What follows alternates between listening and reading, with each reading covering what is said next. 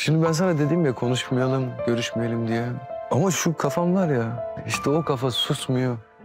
Gözümü ne zaman kapatsam seninle göz göze geliyoruz. Ben başsağlığı dilemek için geldim aslında. Mahalleye gitmişsin. Orhan yetiştirdi değil mi hemen?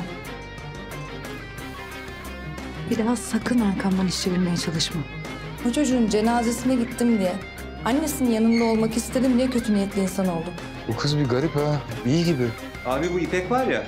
5-6 yaşlarında çocuğu var abi bunun. Ne? İpek Hanım. Son yaşadıklarımız. Sana güvenebileceğimi gösterdi bana. Gerçekten ne dediğini anlamıyorum. Anlatacağım. Neden burada olduğumu da anlatacağım. Kim olduğumu da. Büyük balık küçük balığı yutar demişler. Yemişler. Sen balık değilsin ki. Bırak onu sardalyalar düşünsün. Patron. Patron. Yarın e, görüşürüz patron.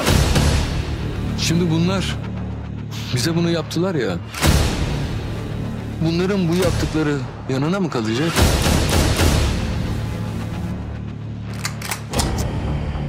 Kalmayacak. Çünkü ben de balık değilim. Bunun hesabını hepsine soracağım. Kopuk yeni bölümüyle cumartesi akşamı Fox'ta.